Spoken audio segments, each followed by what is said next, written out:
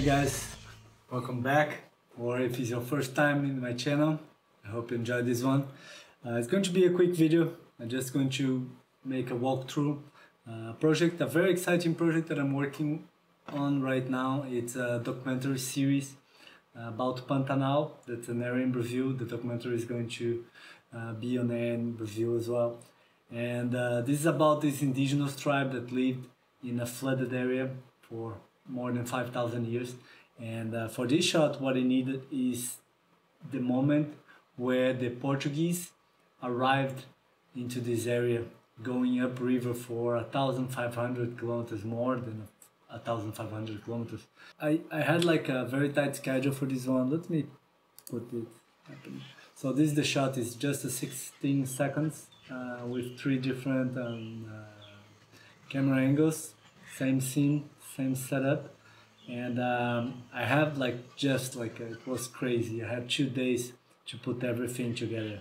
So I need to work very smart, uh, sometimes very sloppy as well, and and just focus in the things that I need to focus so I could dis- deliver this in time. And that's really important when you have like these real world projects where you have this tight schedule and you can dream of having oh I'd love to have like just three months, four months to work in this project. It's just so rare that you have this time. Clients always no we need this for tomorrow, for next week, and I working in this project by myself uh, all the way through and uh, it's just the moment that the indigenous guy, the native, arrive and he see the the boat that's the Bergantim is a mix of sail and paddleboard, but mostly they use the paddles because the river, uh, the wind is not like very consistent. So yeah, nice scene, nice project. The total will be around 20 uh, shots for this project. I worked uh, the majority of them already, so just a few missing. So let me go and show you how this uh, looks like in Houdini. And um, let me bring this. So okay, this is my Houdini scene and I'm going to just show you a few tricks that I use to accomplish this shot. Hope you can uh, enjoy uh, a few of them and use in your own projects. Uh, it's not a full tutorial. I'm not going to go in depth of anything, just showing you a bit of how I did this. Okay, so basic setup, as I normally do, I break down my terrain in, in different sets. So this first one, if you look here, is a very dense terrain. Uh, we have more resolution into this terrain and then we have like this big uh, background terrain and sometimes I have even more terrains in the back. So for this one, this was enough for me. I have just this, the blue part is just the water plane. So let me dive into my foreground terrain and let me show you what I did. Show you, not this one, it's this one. So I start out with this height field and then I had like this sphere just to create a mask. So I use a mask by object and I have this sphere so I have like I could just distort this part and then leave this flat so the water would be here this is the noise not the center noise so I have like just displacing on positive Y and then mask clear the paint for the path. I just wanted a path that I imagine that people would walk all the way to the river because you have like a dense forest. It would make more sense that you have like this more regular path that you reach the river where you go with your canoes to fish and and so this path would have a different vegetation maybe would be a bit deeper uh, so just because people are passing there all the time so the erosion would happen uh, differently so I use the mask blur and then I remap. So I, I make the, the it shorter using both the remap in the ramp and also in the input minimum and maximum. So now if you see it's just a bit lower for this part. So that's what I did for this terrain pretty simple. I extract this with an output node just this path so I have a different scattering and different texture. I did this mask clear and uh, when I work with terrains I start with the the default size. Is a thousand meters by a thousand meters. So I like to work like that because the noise coming in straight works uh, just by default and then the erosion would work uh, very nicely with the default size uh, without a lot of tweaks. And then in the end I bring it down to the the scale that makes sense for me so in this this case is uh, 50 meters so 0.05 the good way of rescaling terrain is using the height field x form if you put like hf transform this is the node height field transform but it's just named as X form. Because this one, when you bring the uniform scale down, uh, you're already bringing all the, the same resolution. So the grid would follow that. So you won't have like a, these big chunks of polygons uh, when you convert this in the end. So yeah, this is what I did. I put down a null that's just to put it out. And in this node, that is the one that I'm going to bring it to geometry because before it's just like a, a voxels and now I need to bring this to geometry. So I bring down the terrain in voxels. It's um, 500 by 500 voxels and then I use this visualize node. node. When the, the, the visualize node is one of the tabs in the erode node because this terrain was so small, uh, so flat, and it would be covered with vegetation. I didn't need to put erosion, and that's the thing. You need to move fast. You have like just these two days You'd work with that. You can't be very performatic uh, and very perfectionist. You need to just okay. I don't need the erosion node for this. Let's move fast, and that's enough for what we're going to see. So here I converted to my height field, and what I did, I bake point colors this is really important. What I did with the, the height field visualize is that just create this height ramp. I compute the range and give gave different colors to the to different heights. So it just gives a good variation on the colors of the terrain. And when you convert these to polygons and you bake the point colors, the now the polygons, the points are going to to get the same colors that you, you put them when they were just voxels. And what I can do is that if you go to the materials of my terrain, if you put like rs point attribute, it's called particle attribute lookup, but it's this one. Uh, it comes as UV tangents. What I want is the color. So I bring the attribute name, the color name, uh, from this. So now here we have the Cd uh, float in the points.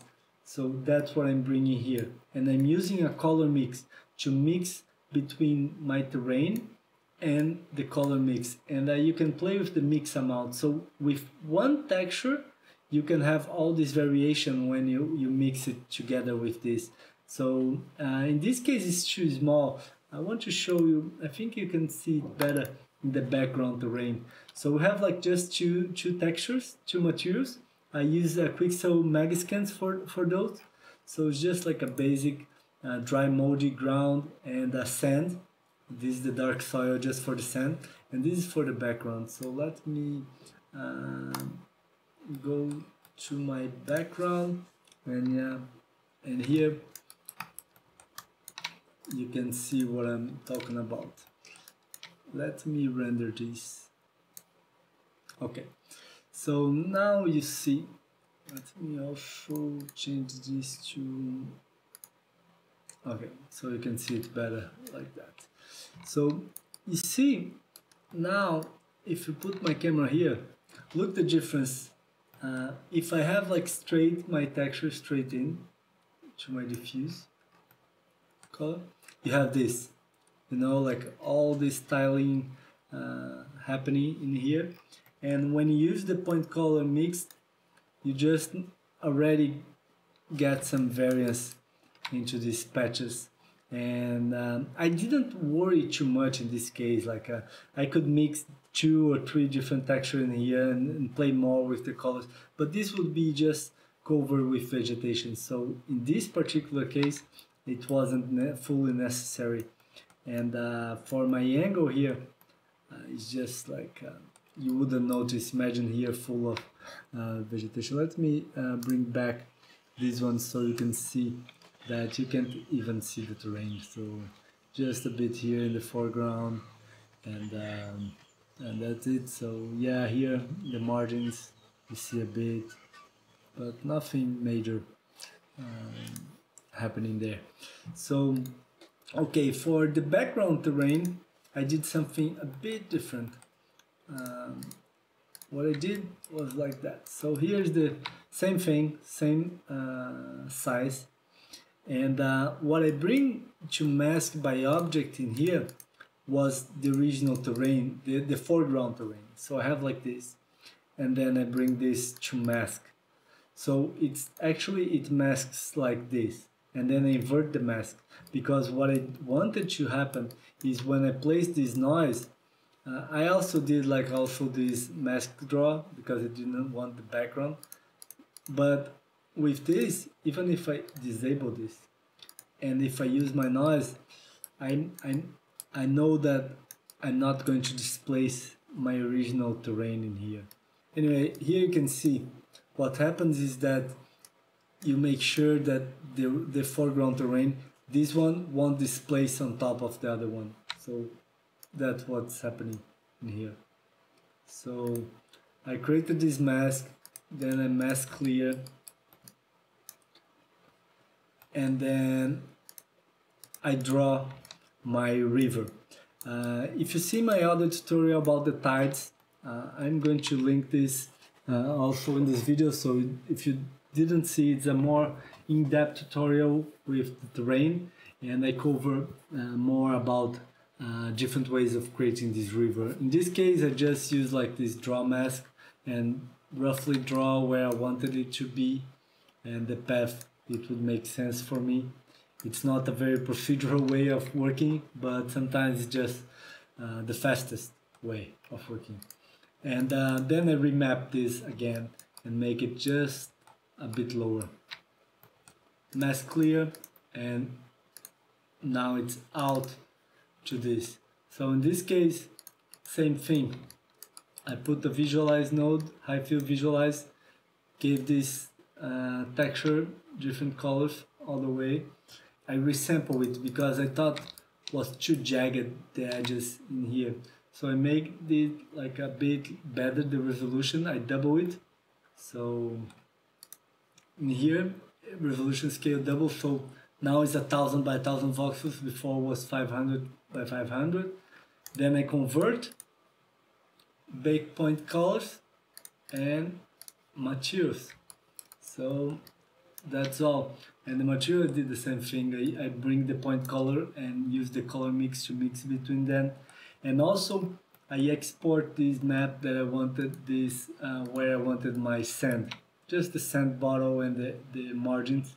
I export using height field output a 2k in this case. I placed it in the mask and uh, rearrange uh, put the auto remap from 0 to 1 and save this in the EXR and then I use this to, to define which areas I want this material of the sand and which areas I want the other material as the grass to happen. The water, I use just a bump map with uh, instead of using the displacement so also very fast I go more in depth in my other tutorial about the tides there's something else that I want to show you guys that's it's cool. One thing that when I had this meeting, I told them, yeah, guys, I just can't have this uh, boat be shown very close up camera. I can't show all the details of all the characters in the boat. I don't have enough time for that. We need to uh, at least like one month or two months so I can put a lot of effort into to, to, to make it really real uh, so we can film very close uh, render it very close. And um, and then I said no, I need to use this. Uh, this backlight is very good to hide details. It's always beautiful to have this very sunset or sunrise look, and uh, this this backlight it hides a lot and it's very forgiving. It's really good to, to work with that if you can't put a lot of details. And I said in the, the this shot that I needed to be more closed up. I, I needed to be a bit defocused. So then I knew, okay, they said, okay, that's fine. We just need to see that this big boat is coming up river and this guy is watching them so that's fine so then okay great uh, we I can um, if I can do that I just need a fast way to to animate it and, and so I, I use the crowds uh, in Houdini to let me show you I just it's one single agent for all these slaves and uh, one single agent for the European guys on the top, the Portuguese uh, on top. So uh, if you see the guys are not even holding the pedals and they're just having this random movement. I have like, uh, for them I use Mixamo uh, animations, just random guy typing in the in the computer. The other guy is just like gesturing. The heads are going up and down. Sometimes it's it's just what we need if it's not very on camera. You just the eyes can pick repetitive movement like if everybody's doing the same exactly. You, you can pick even if it's out of focus. And uh, you can also pick if no one is moving at all. That's just weird. So you need this organic movement from one character to the other. So if you look to these guys they're just like doing these different moving movements. Like this guy's going up this guy's just looking that this one bending down. And just if you see this guy here is this guy there. So uh, it's not a lot of difference. Also for the portuguese guys uh, here uh, one guy this one is pointing down the other one is going to open his hands. And it's very very basic in here. But the cool thing is that i use this as this crowd. It's um I can't dive in for this one. This lecture is just like a, a walkthrough uh, what I did, but I'm planning to to go uh, more in depth with characters in the near future. Because I have a very good technique and it's very easy to work, very fast, and and I didn't see people working that way in the internet so far. Uh, I'm not the best with characters. I'm not specialist on that, but I'm good enough for working professionally uh, in some projects uh, with characters, and my workflow is really uh, good. Uh, and I, I, am sure there will be a lot of people that would would use a few tricks uh, in their own workflow because it's just like very very fast and at the same time very broad, and you can achieve a lot with that. So, not for today though. Uh, so just the small crowd setup, but for the pedals yeah, that's the interesting part. Instead of animating every pedal, because what I needed here is this side to be a bit different than the other side, and each single one would move just a tiny bit different. But at the same time, you need this group movement of the pedals to work all together. Otherwise, one pedal would hit the other. So they need to move together, but they need to move a bit different. So and, and there is this specific regular movement for the pedal too that needs to happen so if let me show you just first just the pedals moving if you see they are moving in this rounded way they're going to the water now you see now in the front they're in the water. They're going to pedal in the water. Then they're going to go up again go out of the water and move to the front and, and that's go on and on and on. And the way i did i took one of them. First of course i placed all of them all of the pedals. I just placed them on the spot and bring the pivot point exactly to where i needed to be so in this area. All of them if you see this one is in this spot all of them the pivot point should be in the same so then I just created one formula for one of the pedals using a transform node and I use the cosine and sine formulas. Uh, if you use them, a cosine in one axis and the sine in the other axis, and you play with these values, that's the frame, uh, multiply, in this case I multiply by 2 for both of them, and 20 in one side and 60 another, you can just, this is not like a, um, uh, one formula specific for everything. You just need to play with the numbers for your own purpose, for your own project, with the time and how it makes sense. I look some footage of these big boats, how long it would take for a full cycle to happen, and then for me this was my numbers. So okay, uh, I have this. uh, going on for for for my uh, pedal here. And the other ones I make like this uh, channel uh, copy of them. But I also put like a plus five in one. I think this one maybe is um, this one no. Anyway I just made a few changes to to them so they doesn't look completely the same so this one is the same formula minus 3 um, this one is the same in here but maybe here is yeah this one is the same. This one minus 2 so I just give these different uh, movements you see like um, how they are not exactly the same. They're just like this irregular shape to them and that's enough um, to to make it like believable. And then I made one side like that. And for the other side I used a mirror and a time shift of 15 frames. So it's just like 15 frames ahead of the other side and then I put them together in this project. So that's it guys for today. If you want to see more in depth any of these i know it was really uh, fast on that i'm also uh, i need to deliver two more shots for this project and i'm working on them now and i'm also preparing a full course on terrains. I want to create like this uh, very fast focused on terrains in Houdini uh, for like uh, other planets beaches mountains, different type of, of uh, terrains, but to cover different techniques for for every single uh, tutorial. So uh, we can all improve together. I can share a bit of my knowledge, uh, and also feel free when you see something that you did different or if you saw different and would be good for me to learn as well. I'm also always open to, to, to improve my skills. I hope you guys enjoyed it. Please subscribe if you want to see more tutorials, more content. Some are just like this more superficial walkthrough of my work. Some are more in depth, more like a, a full course. Sometimes I put like down a full tutorial series. Uh, I'm just starting my channel uh, in these last few months, two months, I guess.